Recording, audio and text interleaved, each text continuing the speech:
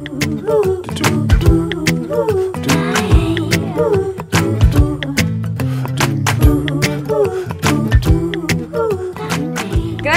estar en sintonía de Voz TV, el canal del orgullo nicaragüense. El día de hoy, usted que está en casita, aliste papel y lápiz porque hoy vamos a aprender tres manualidades fáciles, divertidas y sobre todo accesibles. Usted las puede encontrar en cualquier librería cerca de su hogar. Todos los materiales que vamos a utilizar el día de hoy los puede también usted utilizar para trabajar con sus niños en casa y pasar una tarde amena o un tiempo de recreación y compartimiento familiar. Por eso nos encontramos con Adriana Somarriba, quien es propietaria y creadora de Kendra Arte y Creaciones, quien el día de hoy nos va a estar explicando paso a paso las tres manualidades que vamos a realizar. Gracias por estar con Gracias. nosotros acá el día de hoy. Bueno, coméntenos cuáles son las manualidades que vamos a realizar el día de hoy y los materiales que Sí. vamos a usar. Bueno, eh, siempre, ¿verdad? Los niños les piden forrar cuadernos o forrar carpeta o forrar los blogs. Entonces, esta es una opción, ¿verdad? Con FOMI, facilito, solo eh, tienen que ocupar molde y marcador. Pueden usar también pajaritos, o sea, forrar, ¿verdad? Siempre con FOMI eh, y usar pajaritos, usar ranitas, lo que se les venga en, en mente. También está, están estas retrateras. Esta ya está terminada. Entonces esto, compramos en la librería la base, usamos pintura acrílica, ¿verdad? Pincel, se empieza a pintar y yo ocupo también, me gusta ocupar accesorios que también se encuentran en la librería. Estos son de fibran cortados en láser o también hay de porcelana fría. Estos accesorios los compro en Acuarela Creaciones, una compañera emprendedora también, una, eh, que se dedica a eso. Adriana, entonces nos va a explicar eh, qué es lo que tenemos que utilizar para realizar en este caso el primer paso, que es la retratera, igual que esta que tenemos acá, ¿verdad? Entonces pintamos base, el color que, que deseen, ¿verdad? Esto, esto es importante para los niños porque les ayuda a la coordinación, les ayuda a lo psicomotor, a la motricidad y también los relaja. Y lo más bonito es cuando ya ellos ven su trabajo terminado.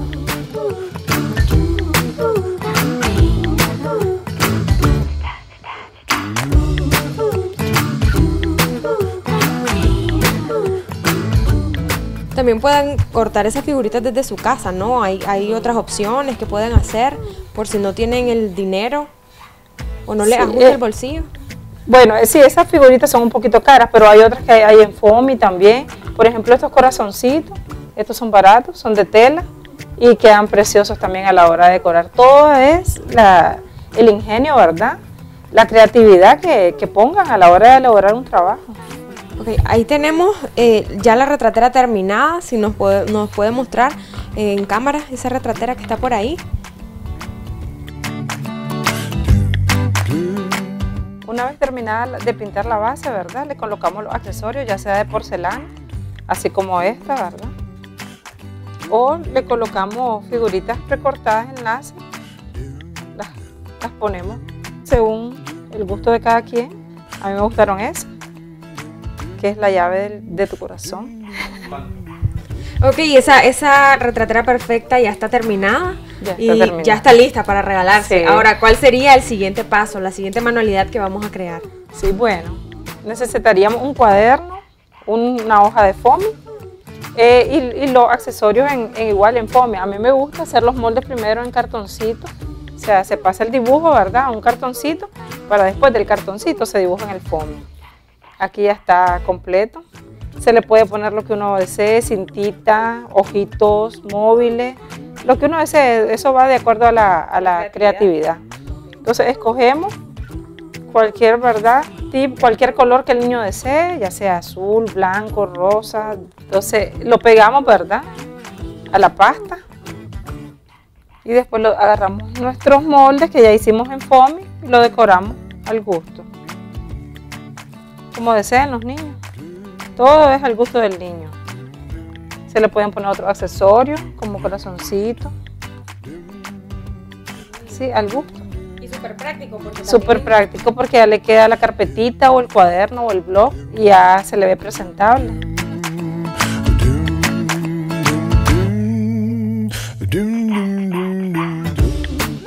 Ok, entonces, ¿cuál sería la tercera y última manualidad que vamos a aprender el día de hoy? Bueno, pensé en esto, ¿verdad? Que también es sencillo. Esto es, eh, esto lo hice para un baby shower, pero igual se puede decorar para cuarto de niño. Es la, la letra, o sea, puede ser la letra o puede ser todo el nombre. Entonces, igual se pasa el molde, siempre se dibuja como en un folder o un cartoncito para después plasmarlo en el fondo. Entonces, yo aquí traje uno dibujado, ¿verdad? Aquí lo hice, eh, en el caso cuando son de relieve, se tiene que dibujar al revés el molde. Entonces lo cortamos.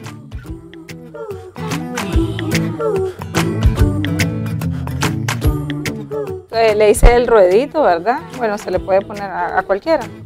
Se, toma.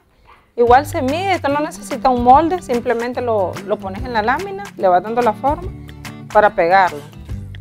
Eh, bueno, están estas perlitas que se ocupan para bisutería, para diferentes manualidades, ¿verdad? Que ocupan bastante los niños en, edad escolar. Entonces, igual si se quiere hacer el cuellito, en este caso le hice cuellito de foamy, pero igual se le puede poner un lacito de cinta, así, de cinta de mantequilla, de cinta de blonda, de lo que sea, del gusto de quien, o incluso un lacito de foamy. Se dibuja la letra, igual en foamy, se pega y ya tenemos, ya tenemos nuestra, nuestra inicial del nombre del niño. Muy buenas y prácticas las ideas que nos ha traído el día de hoy, Adriana. Eh, rápidamente, recomendaciones para el público que nos está viendo al momento de trabajar estos, estos tres proyectitos que hemos tenido el día de hoy. Bueno, hoy en día, ¿verdad? Eh, la gente usa como recurso internet muy bueno. YouTube hay bastantes tutoriales, hay bastantes ideas en internet. Pero yo soy un poquito chapada a la antigua, me encantan los libros. Aquí traje unos libros con los que empecé a hacer manualidades. El libro te, o sea, te empapa, te, te llena, te emociona. Entonces también yo, hay que estar al día con la tecnología, pero siempre hay que fomentarle a los niños el uso de los libros. Excelente. Bueno, ahí teníamos las recomendaciones de nuestra experta en creatividad del día de hoy. Eh, nosotros de esta manera volvemos a estudio, pero también les recomiendo que si ustedes quieren eh, seguir estos, este tipo de trabajo, pueden seguir tu página, ¿no? Sí. ¿En dónde te podemos encontrar? Kendra Arte y Creaciones. Muchísimas gracias, Adriana. gracias. Volvemos a estudio.